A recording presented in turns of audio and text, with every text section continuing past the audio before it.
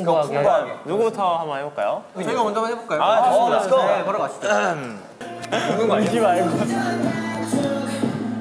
하나 둘셋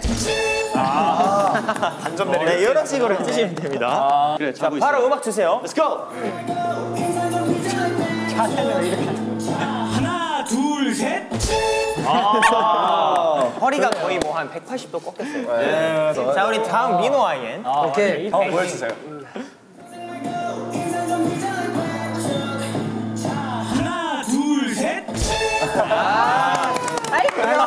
아이, 귀여워. 그럼 바로 우리 나머지 한창빈 씨도 한번 가볼까요? 와, 이조, 이조. 기대된다. 그러면 내가 김치볶음밥 아니면 치즈볶음밥에서 이걸 그 고민하는 상황을 알았어, 오케이. 역시 하나 둘 셋 하면서 역시 치즈를 먹을 고르는 거구나. 거야. 그렇지. 고민이 되네 아, 뭐 먹지? 김치볶음밥 먹을래? 치즈볶음밥 먹을래?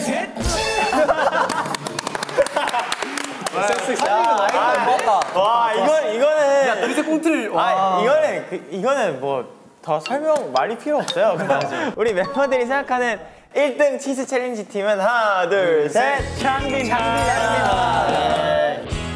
예, 1등 했다. 엄마, 1등 했어요. 엄마 너무 감동이에요.